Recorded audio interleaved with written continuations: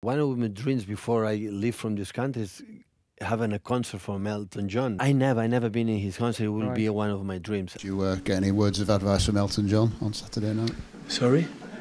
Did you meet Did you meet Elton John on Saturday night? So it's Sir Elton John. So it's uh, not all laugh. It's Sir. We saw him in the when we landed from London after FA Cup. We were there.